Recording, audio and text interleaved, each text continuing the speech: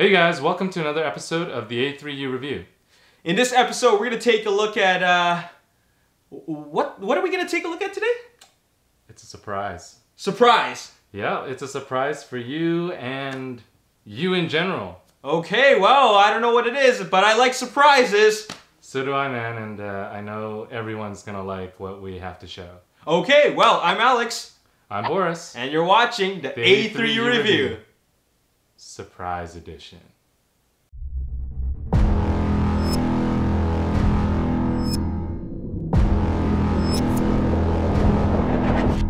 So before we take a look at this big surprise that Boris has in store for us, we just want to take the time to talk to you guys about something that has been brought to our attention. Yeah, uh, in the last review that we did, we made a mistake on our review of the Scoria. Now, many of you guys have left comments, thank you very much. And we have taken another look at the Scoria, at the extra pieces that come with it. Now, we had originally talked about Grimlock and how it acts as a backpack for Grimlock, but we were wrong that it only does that. Uh, I only want to mention this because we judged the scale of it based on that, and we don't think it's completely fair. Uh, I still don't feel like the MP Grimlock is at scale with Scoria in terms of how Dinobot should be scaled to the cartoon, but the feet pieces definitely make it taller and not so dwarfed by the Scoria. So I think it's important to mention that. Yeah, we just want to take the time to acknowledge that and also mention to you guys that when we take a look at the products that we review, most of the time it's our very first look at the figure. So what we're giving you is our exclusive first reaction to the product itself. We just look at it and we're like, whoa, you know what I'm saying? Because at the end of the day, you and us, we're all collectors. And when you open a box and you go, wow, that's your first impression, well, what we gave you is our first impression. Yeah, and that's why, you know, even if we haven't had a chance to look at something, we still review it.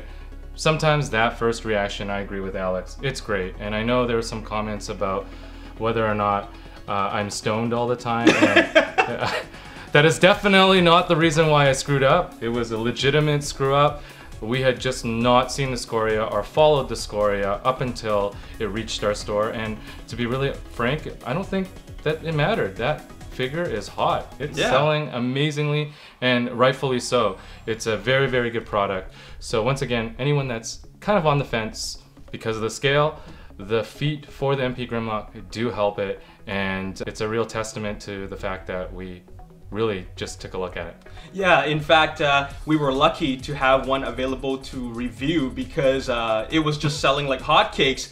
And speaking of which, uh, you know what? Just because Boris looks that way is not because he's stoned. That was his genuine reaction, okay? Don't blame him for having Don't a face drugs. like that. Okay? Don't do drugs. exactly. Um, yeah. I've sorry, man. I gotta go, dude.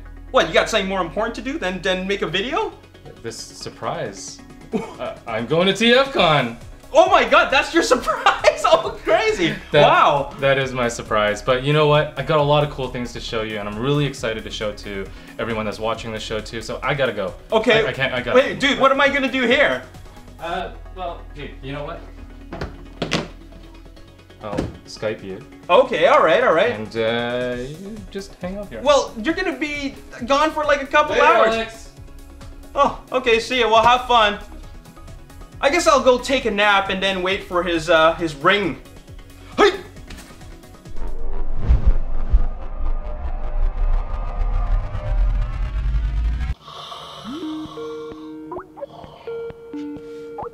Oh, whoa. Whoa.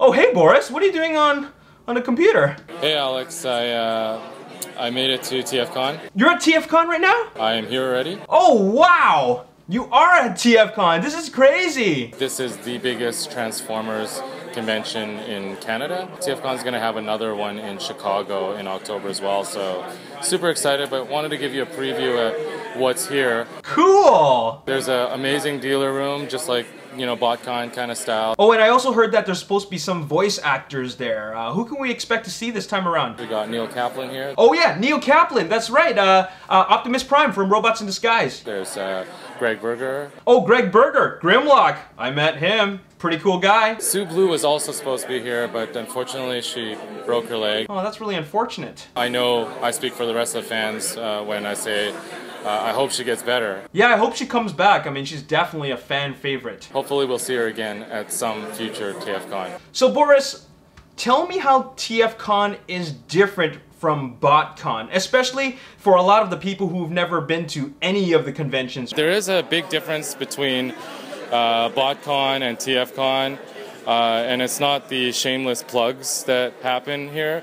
It's uh, more that uh, there's a lot of third-party stuff versus Hasbro. So whereas BotCon likes to announce all the super awesome things coming out for Hasbro, we get to announce the super awesome things that are happening for the third party. so what kind of third-party companies are going to represent at TFCon? Fans Project, Make Toys, Perfect Effect, you name it.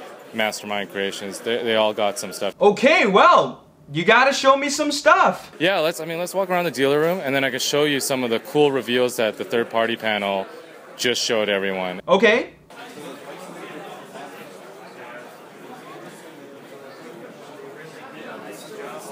Some people are packing up already.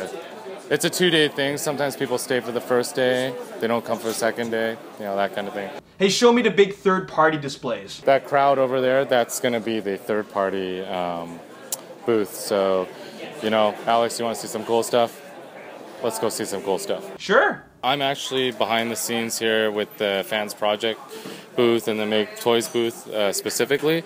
There's a lot of cool stuff that they revealed. Anything new from Make Toys? Make Toys has this cool, huge uh, Scorponok and uh, Utopia as well, the, which everyone saw at BotCon. Uh, but the Scorponok definitely surprised everybody. Hey, what about Fans Project? You have a lot of the Warbot line here uh, with the Steel Core trailer. That's an interesting one. Uh, there's also the Dinobots. Uh, the first time a lot of people have seen this. Uh, there was also an exclusive Dinobot for sale. A Fans Project dinosaur robot? That's pretty cool. Here is the the Columpio that I was telling you about. It's called what?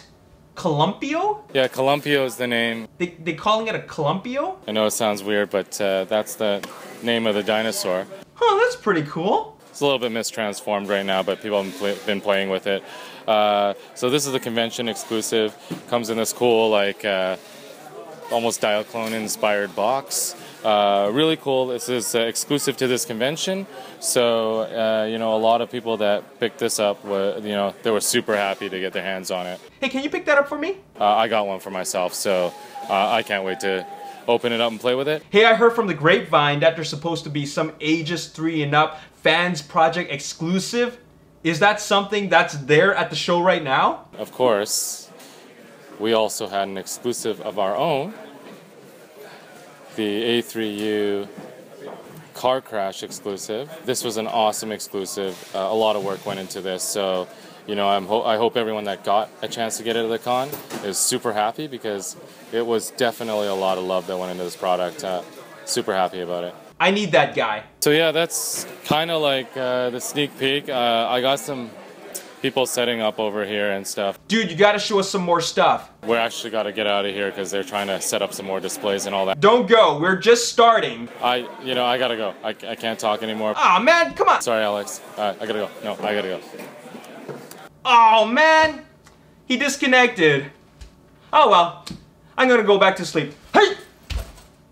And that's our episode for today. We hope you enjoyed it. Next week, we're gonna take a look at the masterpiece. Ah! Whoa, holy cow! What the heck? Where the heck you come from? I literally just flew back from TFCon. Wow! Like, That the is door, impressive. Right onto the couch. That was fast. I mean, that was like, holy cow, that's like light speed. I'm really impressed. yeah, I, I don't think anyone's ever made it to a con and back within the same episode. well, I'm glad you're back because we're doing the outro right now, and you can tell the viewers what we're gonna take a look at next week. Uh, next week, we're going to take a look at the MP18S. It is Blue Streak or Silver Streak uh, for this version. As always, if you enjoyed this video, hit the like button, subscribe to the YouTube channel, like us on Facebook, Ages 3 Up, and also follow us on Twitter at Ages 3 Up. We'll see you next time. See you next time.